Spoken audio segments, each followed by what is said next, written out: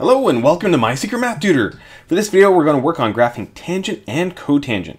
So these two are very interesting trigonometric functions um, and when you look at them they don't quite look like uh, your normal sine and cosine functions because of course they're not, they're, they are tangent and cotangent.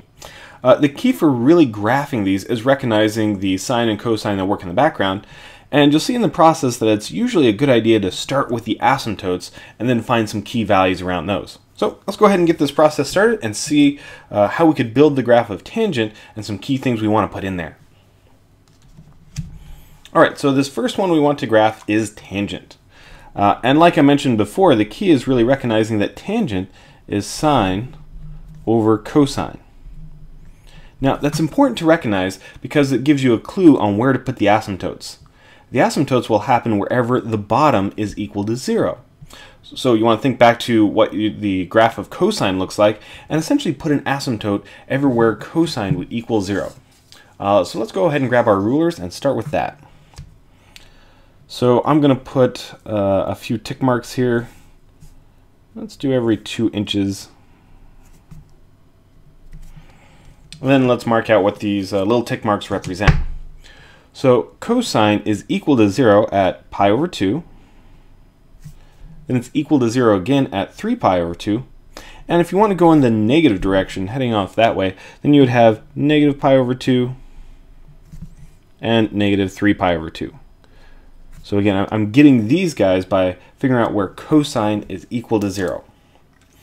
Now that we have those, let's go ahead and mark out the asymptotes by really just making a dotted line, uh, a nice vertical dotted line.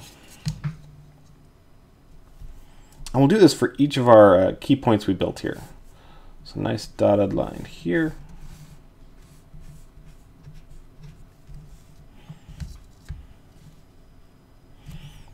One here.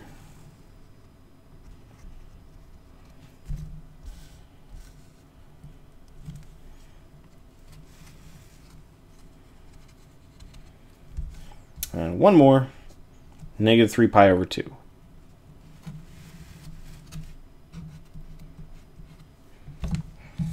Okay, so we have our asymptotes. Now what do we do? Well, the graph of tangent essentially wants to hug really close to these asymptotes, uh, and then it actually equals zero at the halfway points between them. So that means when I'm halfway between these two asymptotes, it'll equal zero. When I'm halfway between these two, it'll equal zero again, and when I'm halfway between these two, zero. And this has kind of the shape of like a, a cubic function. So imagine hugging really close to this asymptote and then eventually coming in, going through that point, and then hugging close to the other asymptote. And it'll just keep getting closer to uh, those asymptotes. So this would be one period of tangent. And we'd simply repeat this for the rest of the graph. So I'm going to go through that little zero right there, then continue getting close to the asymptote. So there's another period. And let's go ahead and draw one more of course, it'd continue like this infinitely in both directions, always getting closer to these asymptotes when it reaches one, but never quite touching it. Cool. All right, so since we see it has these zero points, it's probably a good idea to mark out where these are as well. So the first zero point happens at zero. Then you want to think of the halfway point between uh, these two values. So uh, pi over 2, 2 pi over 2, 3 pi over 2. So this is just pi. Uh, and of course, going the other direction, we'd have negative pi.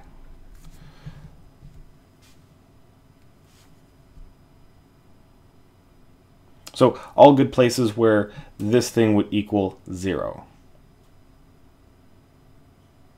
All right, moving on. Um, sometimes you may wonder like how far up and down this should be stretched. And it's really tough to tell because, you know, usually with sine or cosine, we can have the uh, amplitude marked out by its highest and lowest peak. Whereas this one, it keeps going off to infinity, keeps going down to negative infinity, but there are some key points that you can mark out that will help you figure out, um, you know, the stretching factor uh, when you get to transformations. And that's these two key points right here at 1 and negative 1. Essentially, that's the halfway point between the zero and the asymptote. And it's another key point where you know it goes through uh, uh, the graph.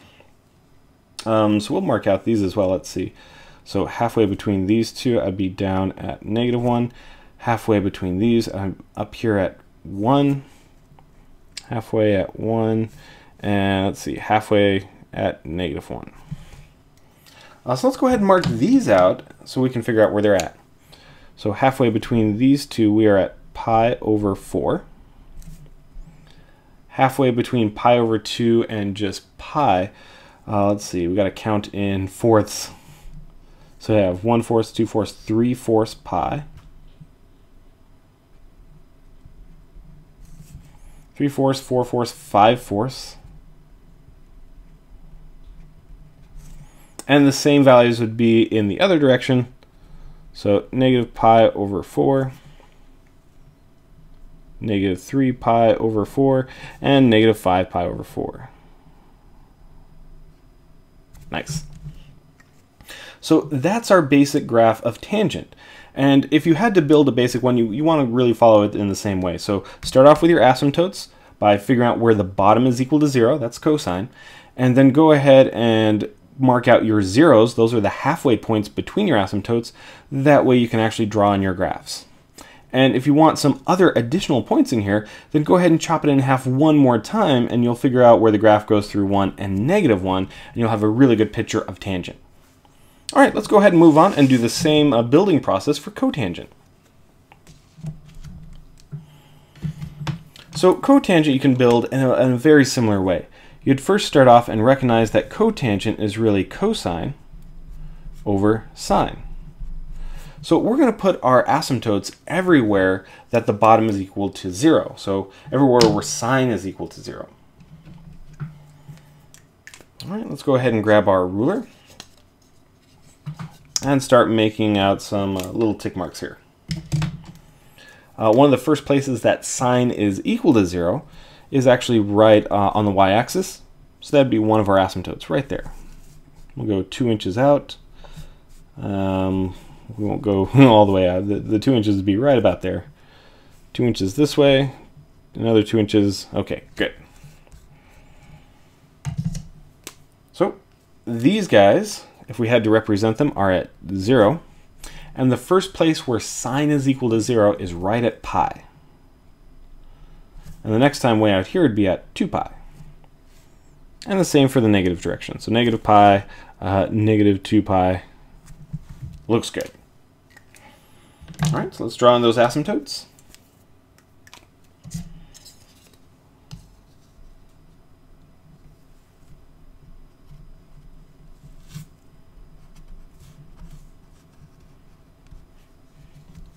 I'm just going to draw portion of one over here. I don't want to get in the way of what I've already wrote. Let's see, let's get another good one right there. We'll still be able to see uh, two periods of this since our y-axis happens to be one of our asymptotes. In fact, let's go ahead and mark that out. Even though there is a line already there, we do want to remember that this is an asymptote as well. Let's go ahead.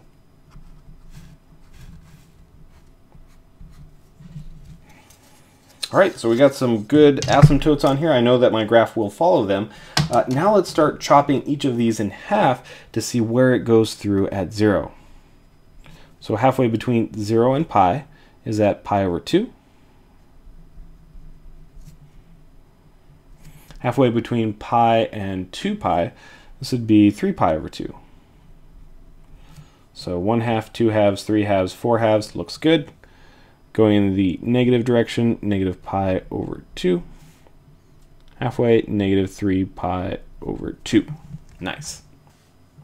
Now, the graph of cotangent looks an awful lot like the graph of tangent, but you want to draw your curves going the other way. So tangent would start uh, off at this right asymptote and then start hugging uh, towards this way, a lot like x cubed. Cotangent works the other way, so we're going to start hugging really close to this asymptote. Then we're going to come down and go right through our zero and then hug close to our other asymptote. And there we would have one period of cotangent. All right, then we just want to repeat this process. So here would be another one. Go through our little zero point, hug close to the other asymptote. And let's draw one more. So let's see. So this is coming down, going through our zero, and then hugging close to the other asymptote. Um, and of course, this would just repeat. You know, we'd have just one little bit more over here. And that would be our graph of cotangent. Uh, now, like tangent, we can also mark out some other key values on this. Um, places where it would go through 1 and negative 1. And these places would happen by chopping the intervals in half one more time, so you're exactly halfway between 0 and pi over 2. So let's go ahead and mark out the first one. This would be at pi over 4. And it reaches negative 1 at 1 fourth, 2 fourths, 3 fourths pi. Negative 1. Come out a little bit further. Let's go ahead and chop this in half. So we're at 1. Oh, looks like I didn't draw my graph entirely uh, accurate. And negative 1. So let's see, uh, 4 fourths, 5 fourths pi. 6 fourths, 7 fourths pi. And these would be the same values going in the negative direction. So halfway at negative pi over 4. 1 fourth, 2 fourths, halfway at 3 pi over 4 negative. So we're up here at 1, down there at negative 1. Uh, 3 fourths, 4 fourths, 5 fourths. And let's, let's make that our last one. Neat. So very similar, uh, but, but think of the same process when you're building this one. First, find your asymptotes wherever sine is equal to 0. Then go ahead and figure out where the, the function is going to be 0. Uh, that will actually happen wherever the top is equal to 0 or you can end up just chopping these in half. That's what I like to do. Uh, then you can go ahead and draw out your graph, uh, making sure that for cotangent, it's actually flipped the other way. And then lastly, go ahead and add in a few more key points. These ones at 1 and negative 1 will give you just a little bit more accurate picture. Perfect. All right, if you want to make this uh, graphing process even better, it's a really good idea to know the graph of cosine and sine like the back of your hand. So if you haven't already checked out my other video on sine and cosine, go check that other one out. Uh, that way you can learn how to build that one quickly and easily. If you'd like to see some more videos, please visit mysecretmathtutor.com.